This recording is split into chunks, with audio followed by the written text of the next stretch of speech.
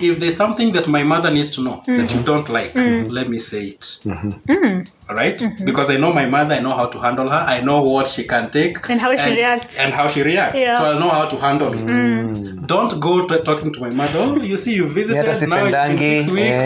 Ulisema unakuja kukaa wiki moja. Utaenda lini, mam?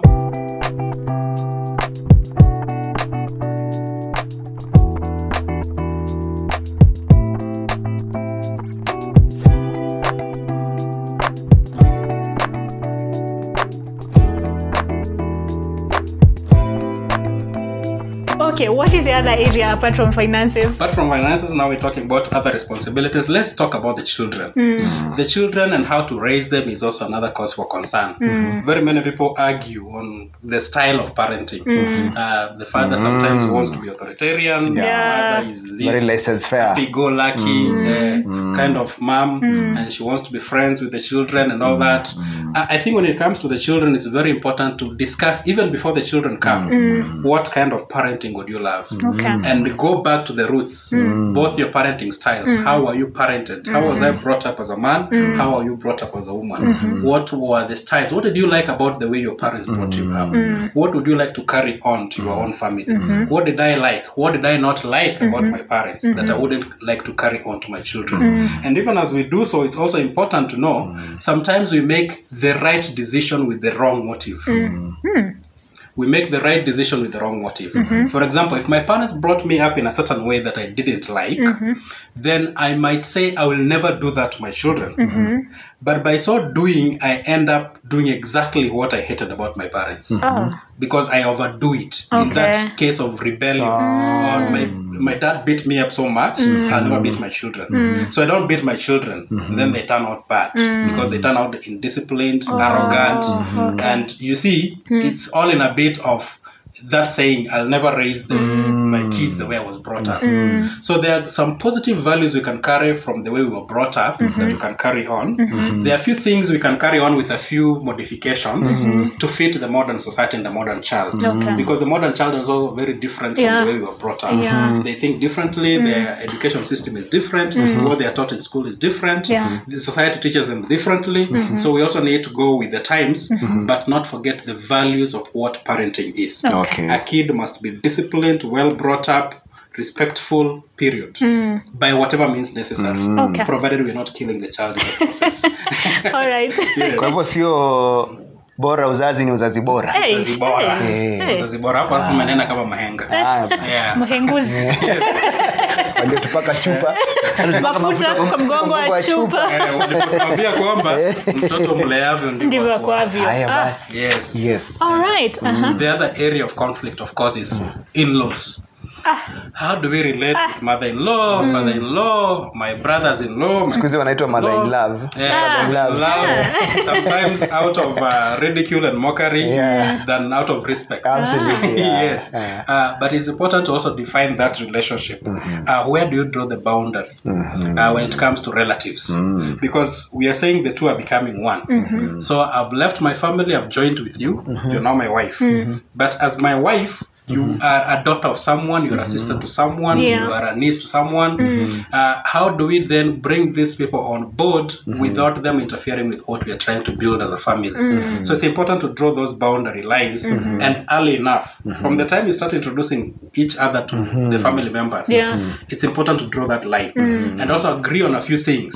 So if you're going to support your family, for example, your relatives, there's a younger brother of yours who's in school or Yeah. something, Yeah. uh, and maybe you, you might be asked to stay with him uh-huh. because now you are the one who was mocked in the family. And Yeah. Mm. so You're in Nairobi. Support. Yes. Uh, so they send you, they send them over. Mm-hmm. It's good to agree on what can and cannot be done mm-hmm. from an early stage and mm-hmm. make your relatives understand. Mm-hmm. Now, the conflict comes in when the two of you agree, but the wrong person conveys that message. uh-oh. For example, uh, you see, in communication, we say it's not just what you're saying, but how you're saying it, Yeah. but also who, says it. Uh, uh-huh. If there's something that my mother needs to know that you don't like, let me say it. Mm. Right? because i know my mother i know how to handle her. I know what she can take. And how she reacts. and how she reacts. Yeah. so i know how to handle it.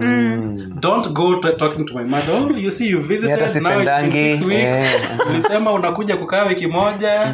Utaenda lini mam Mm. najua mimi sipendangi mambo Yes. vile unamkanga mpaka umechelewa. Vile unaambia nikupikie nini ndo ma. No, if there's something you don't like about my relatives, let You me be the one to to, say to say it. Okay. Tell me, let me find a way that I'll break it down to them. Okay. in bits that mm. they can understand and handle. Mm-hmm. So the problem comes in, especially when it comes to the ladies and their mothers-in-law, mm. when they now think the man is too soft, mm-hmm. the relatives, and they think I have to fight for my mm. territory. Mm-hmm. And in that fighting for the territory, you end up actually losing the marriage. Because when you put an ultimatum to your lover or your husband and tell him, you'll have to choose either your relative or me. It's either your mom or me. Who is ma- who is the woman of this house? It's your mother, or your sister, or me. Yeah. When you start, you- when you find yourself talking like that, mm. know that you've gone beyond Yeah. communication. You've broken the communication lines. Yeah. Mm. Because if the communication was done right, uh-huh. mm. then this man would have drawn the boundaries, uh-huh. and then everybody would respect those boundaries with time. Okay. It's not an overnight thing, mm-hmm. especially with relatives. You see, we say you can choose your friends, mm-hmm. but you can't choose relatives. Can't choose your family. They're just family, Yeah. and they're going nowhere. Your sister will be your sister. Your brother will be your sister. That dra- drunk uncle will always be there. Yeah. He'll always come to disturb the family Mm. meetings, mm. and it's okay. That's mm. what family is about. So it's about the two of you understanding each other's side of the family and then drawing boundaries on who can we work with mm-hmm. for the betterment of this relationship and who can we love at a distance. Oh, love at a distance. Ala, Okay. that's a good one, eh? I know, so love them. But it's a at a distance. distance. Because Okay. there's some people who are better off just And there are also people Yeah. who don't who don't, don't, don't know let boundaries. them in yeah just don't let them in because then there'll be nothing good that will come out of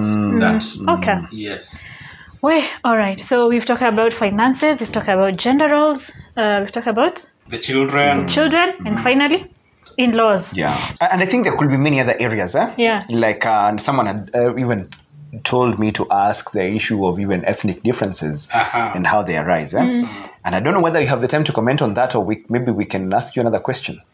uh, i think uh, it's, it's And then, so order. you, you said you said what? there are other differences Ethnic or religion. Religion. So religion and ethnicity. Eh? And you know, there are some communities or some families where they say, and uh, some families it's very clear. and i'll ambao swahili letter.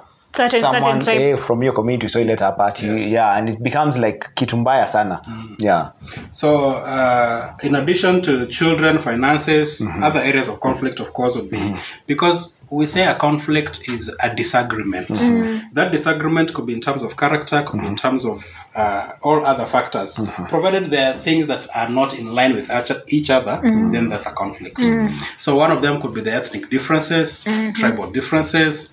We could have religious differences. Uh, we could have even uh, academic differences. Uh, I have a degree, you dropped out in class 8, mm. and that can also bring a lot of conflict if we're mm. not able to handle that. Now, in terms of ethnic differences, I think it's important to know who you are marrying, mm-hmm. uh, what are their family values, what are their cultural values, then come to the personal values. Mm-hmm. Because I want people to differentiate the 2 mm-hmm.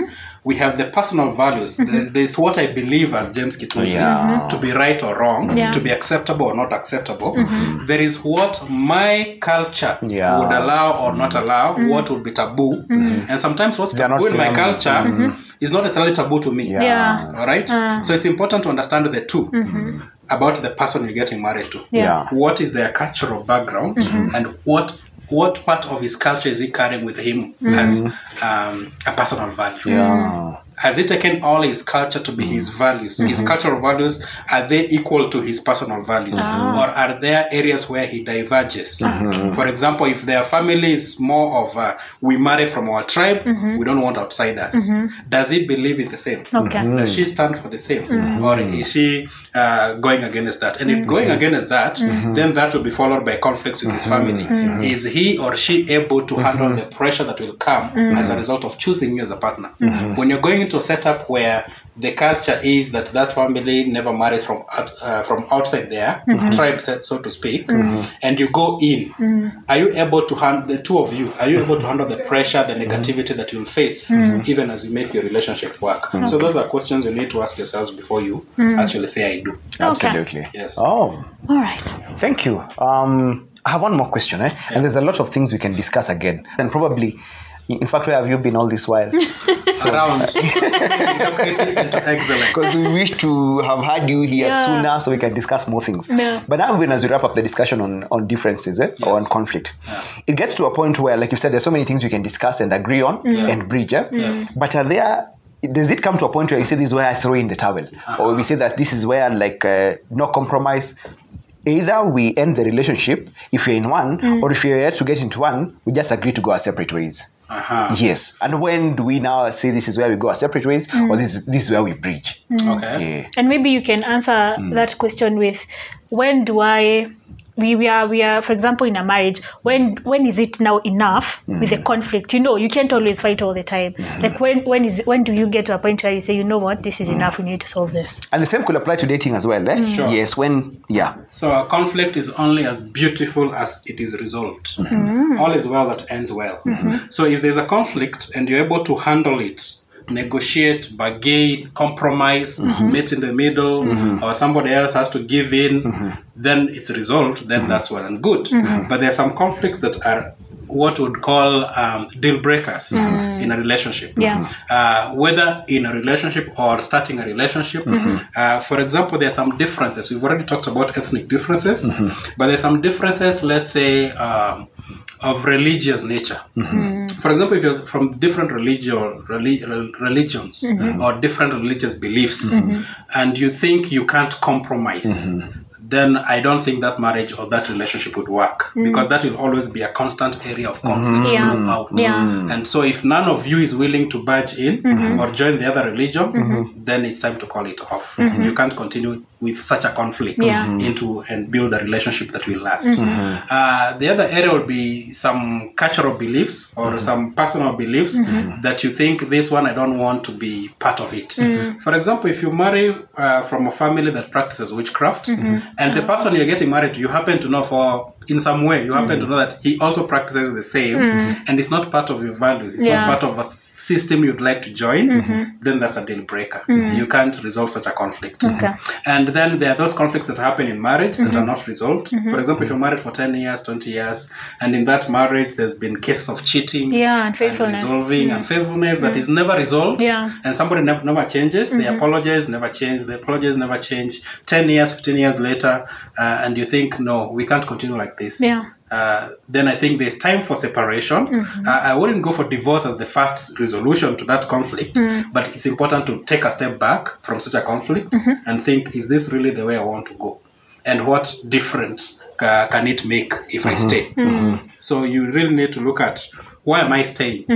Uh, despite this conflict, mm-hmm. Mm-hmm. if the the reason for staying is stronger than the reason that is pulling you apart, stay. Mm-hmm. but if the reason for going is stronger. stronger than the reason for staying, go. Okay. So at the end of the day, it's dependent on you, your values, Your values. and what you can put up with. Yes. Okay. Yeah, but also as we say so, Mm-hmm. there's room for forgiveness. There's room for reconciliation in every conflict. Mm-hmm. Yeah. So it's important also for people to consider that You said a conflict is as good as. It is as beautiful as it is resolved. Okay. Mm. Yes. All right. If you, you can resolve it, mm-hmm. Well and good. The better. Work towards resolving it. Okay. Yes.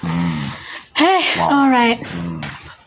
No, I, I- I just think it's been a very, very beautiful discussion. Yeah. To be honest, I think even after we're just done shooting, we're going to continue with this discussion. Yeah. And if you don't mind, we'd like to have you on again. Yeah. Right? I'll be Yeah. back. As I said, this is home. Yeah. Yeah. Yeah, so I'll So- be back. Thank you. Thank you so much. Yeah. Mm. We actually really do appreciate. I think you're one of the most inspirational and uh, impactful people we've had here on set. Yeah. Mm. And I want to believe that anyone who's going to listen or watch these uh, episodes eh, is really going to get a lot of value. So thank you for sacrificing your time. Yeah. And again, for just being a well of knowledge. And we thank God for the grace that He's given you to just be so able to be this wise and uh, to be able to make Mm. And even this much of a share, share the Yeah. wisdom that you have. Thank Very- you. And, Thank you. yeah, it's my yeah. pleasure. Uh, it's been a pleasure being here, and I look forward to being part of this family Yeah. now henceforth. Yay. So in the comments there, propose nirudi nisirudi. Ki- kiongozi akuje asikuje. Asikuje, Yes, yes, yes. yeah. And you also you want to tell us about your what you do and how we can find you if you want to be part of the mentees. Yeah. Ah, yes, if you want to be part of the mentees, mm-hmm. I run a initiative called Badilika Initiative, mm-hmm. uh, where we mentor men, mm-hmm. especially and the boy child, to just be better people. Yeah. Uh. I do both corporate and um, church events, uh, just mentoring men and people in relationships, matters, leadership, and just generally coaching about life. Yeah. The tagline is transforming mediocrity to excellence. Absolutely. You can find us on Facebook, Badilika Kenya, uh, YouTube, it's Badilika Kenya, and uh, of course, Facebook, eh, all other, Instagram, James Kituzi. Okay. James Kituzi everywhere. Sawa. We'll tag those socials in the description box. So be sure to check them out, yeah? Absolutely. Yeah. Asante sana, James. Karibu. Yeah, and I think that is it from DC and Jazz. Yes. Asanteni sana. See you in the next episode. Absolutely. Bye bye. Bye.